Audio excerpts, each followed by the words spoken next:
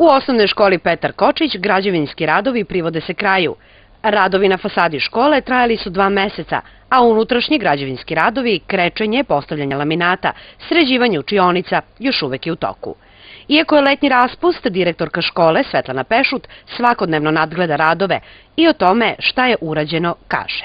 Škola je znači urađena u najlepše što je moglo da se odradi. E, ostale su još neke sitnice e, da se završe oluci koji nisu ni mogli da se dovrše zbog skele i evo čekamo novu školsku godinu potpuno u novom ruhu. E, to je deo koji je znači, s polja završen i imamo još nekih radova koji su predviđeni, koje smo započeli, koji će se uraditi unutra. Znači čekamo da se osuši taj deo maltera pa da završimo i to. Takođe i biblioteka osnovne škole Petar Kočić dobija nov prostor.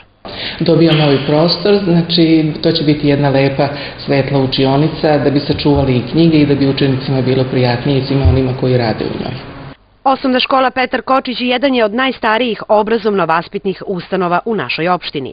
Današnji školski objekat građen je u tri navrata, a 1972. godine konačno je uobličen današnji izgled škole, dogradnjom kabineta za fiziku, hemiju, biologiju, radionicu za tehničko obrazovanje i fiskulturne sale.